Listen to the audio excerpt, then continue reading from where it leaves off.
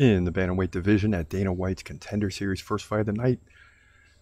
Week two, Cameron Smotherman, the American, comes in at eight and three, taking on Charalampos Grigoro. Sure, I messed up that name, but that's all right. He's seven and three. Now Smotherman, two inches taller at five nine.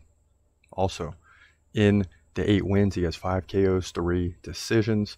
Does have three losses.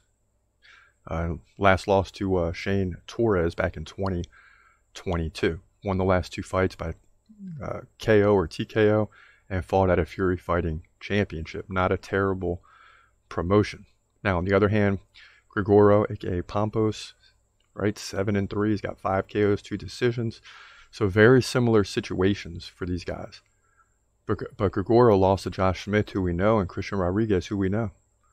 Since then, he's been fighting at a Cage Fury Fighting Championships uh, and Combat FC uh, and won three in a row. So it's a, pretty much an even matchup.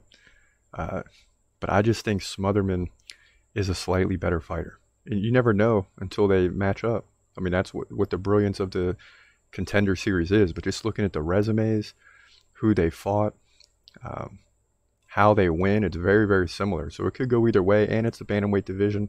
Much like the lightweight, these fights can go any which way. The guy that's supposed to win doesn't always win, you know? So I like Smotherman, uh, Smotherman to outstrike Grigoro, defend the takedowns, um, and in my opinion, get the win here. Not sure if we get the contracts. I think it's going to be by decision, but he'll move to nine and three, bantamweight division. Dana White's contenders.